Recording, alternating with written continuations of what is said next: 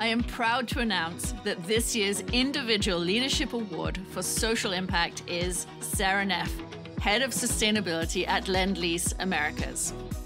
Sara has committed to leading the industry in understanding and quantifying the value of health when it comes to ESG and has been integral in driving the conversation around healthy buildings. Congratulations, winners of 2023 Best in Building Health. Thank you for your partnership and commitment. Congratulations.